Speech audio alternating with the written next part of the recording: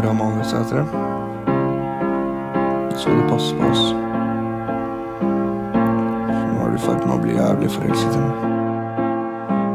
Wilhelm. along it was a fever.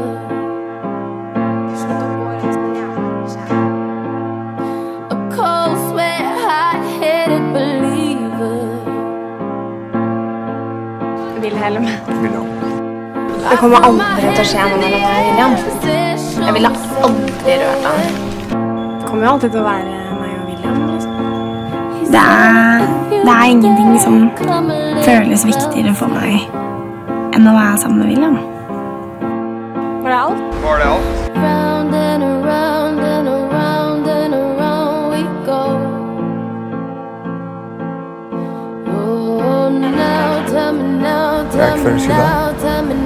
you know. Not really sure how to feel about it. Something the way you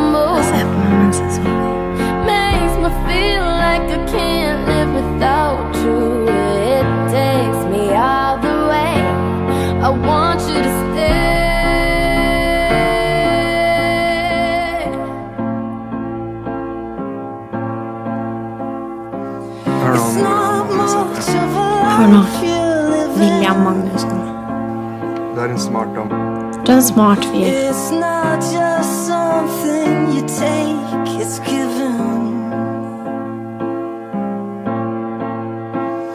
Round and around and around and around we go. Oh, Herregud, hvis jeg skal begynne å tenke på han være sammen med noen andre enn meg, da blir jeg bare helt ødelagt. William har fått seg ny kjæreste. Nå må du gi.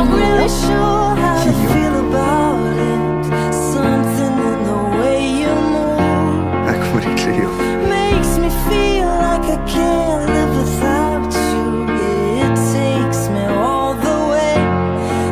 Si at vi skal være sammen. Si at vi skal være sammen. Please, ikke hat på meg. Og please, ikke bli sur. Og hvis han virkelig elsker meg, så kommer han jo til å komme etter meg. Cause I need this Jeg bare følte at han ikke elska meg mer. Jeg elsker deg, og hvis du elsker meg, kom til Funny, you're the broken one, but I'm the only one who needed Takk for mailen.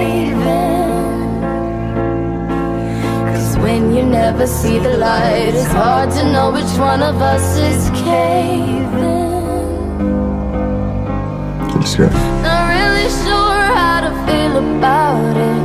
Something in the way you move makes me feel like I can't live without you.